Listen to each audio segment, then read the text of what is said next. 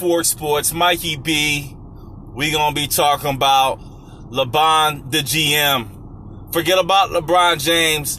LeBron GM is back in the house. The best general manager in basketball is LeBron James, bar none. Moves made. Yes, strikes are being shot, and people are starting to realize that the Lake Show is not all about LeBron James on court talent. Man, what moves? What moves were made? Let's talk about it. The ones that we know about, the ones that are clear. Montrezl Harrell comes over, signs six man of the year, goes over to the Lakers. Shots fired. Next up, why not? Wesley Matthews comes over from the Bucks. Shots fired. Next up, Dennis Schrader. Some say, well, I know he doesn't have the vision of Rondo, but when he was coming to the league, he was looked at as a Rondo type. He's definitely a better three point scorer. His creation, that's going to be the question mark. Don't know why they let Rondo go, but they had to. Schrader comes over. Good night. How are you? Rondo goes, gets paid in Atlanta. Now, the last but not least, to add on to Harrell, to add on to Wesley Matthews and Dennis Schrader, to actually put on Marc Gasol. Why not? The guy that could shoot from three, from long range. I thought maybe they try to nab Brook Lopez somehow, some way, but man, get him back. But Marc Gasol comes over in the place of Dwight Howard. We are now seeing a different type of trend for the LA Lakers. It is no longer the defensive scheme. They were a very strong defensive team. I'm kind of sad that Howard left, and now word is JaVale McGee, another one of their anchors, is going to be going, headed out, yeah, in a trade to the Cleveland Cavaliers to possibly get another young, flooded body in Jordan Bell from a defensive perspective, who may be able to do the same damage because of his youth.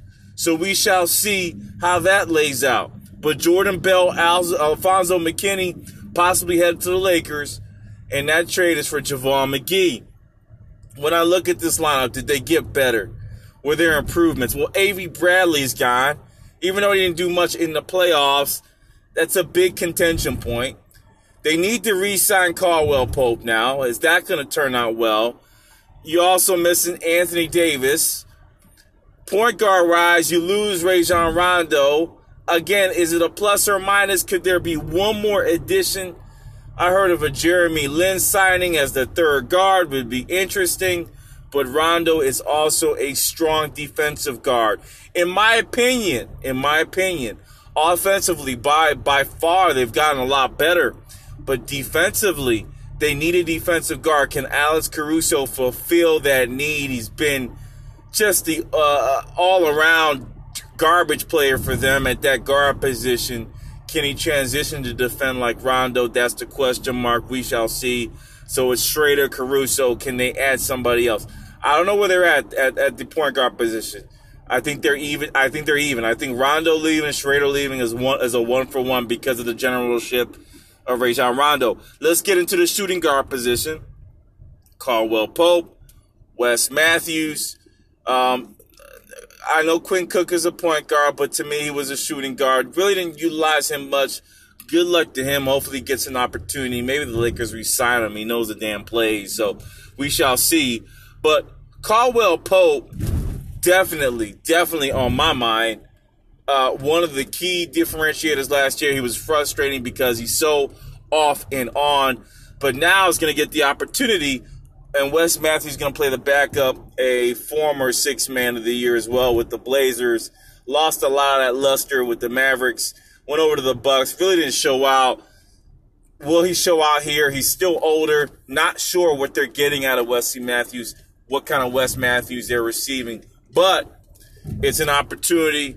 And Wes is now here trying to play some ball for the LA Lakers. And I think in that position, they're evened out. I doubt they signed J.R. Smith back, and I don't know what J.R. Smith's going to bring. He never got his rhythm. He's a rhythm player. He needs time. If you don't give him time, you won't see what you need to see. And I don't even know if he's going to get the opportunity to get that rhythm. But the Lake Show go ahead and win the championship uh, with JR. Will they bring him back? just because he knows the plays, easier transition, he knows the guys. Not sure. I think they're the same in the shooting guard position. I don't want to linger this out. They're the same. No difference there. Small forward, LeBron James, uh, Talen Horton Horton Tucker is apparently going to get a more aggressive role with this team. I do think Kosta Koufos was there. Uh, Kosta is a, a Antetokounmpo Greek Freak's little brother. I mean, they signed him. I, I want to see what they can do there. I want to see who they can get. Is there an opportunity to probably upgrade over Taylor Horton Tucker? I understand he's a, he could be a, a, a very good talent off the bench, but there's so much out there available could you get a good backup for LeBron James? You know what I'm talking about. You know, uh, uh, Trevor Ariza type, that type of guy. You know, at that level to back up LeBron. Uh, I would like to see that. I just don't see that here, and I think they're they're losing some scoring. So, for me, they're the same. They're the same right here at the small forward position.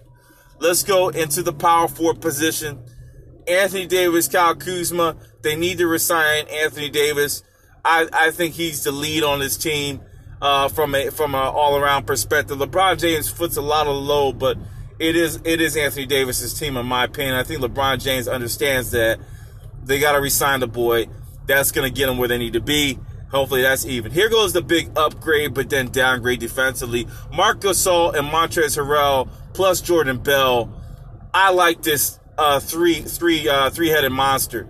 I think it's an improvement. They get more scoring. Um, not sure they get the blocks that they're going to get with Davis and Howard. I would have kept at least one of those guys. I wouldn't. I wouldn't have traded both. But that's the direction they wanted to go, and uh, apparently it is what it is, right? Uh, Mr. Uh, uh Mr. Howard is gone, wanted some money, and, and Mr. Mr. McGee is gone. Apparently, they think Jordan Bell is an upgrade. I think this is the potential improvement spot for them where I think it's drastically different than the point guard position or the shooting guard position. I think this center position, which, which they got Montrezl Harrell there, even though he can play power forward, with Jordan Bell is a big improvement over Howard and McGee from an offensive perspective. I'm still not sure defensively. Actually, I am sure they're not better than JaVale McGee and Dwight Howard defensively. No way. All right. So it's a trade off. It looked good when you heard it and you're like, man, LeBron, LeBron GM, LeBron GM did his thing. But now looking at it again as he, it's like a, it's like a new car. Man, that's hot. That's hot. That's hot. Damn, damn. You see it for about the 16th time. He said, ah, I'm starting to notice some, some stuff about the car. You know, ah, that's a little bit off. That's old. I've seen it. I'm not sure about this change. I'm not sure about this change and how it will work. They'll definitely offensively, offensively a killer from the three point land, but I still think they need some defensive help, and I have no clue why they're trading McGee. So, all four sports, I'm going to sign off right now. My impressions, they've definitely improved offensively, but defensively is a big question mark. We shall see we, what we shall see when the season begins with the LA Lakers if they can nab somewhat of a shot blocker, maybe a more defensive minded small forward it'll be exciting to see. All four sign off. LeBron GM strikes again, making the moves, making it tough out here for a player.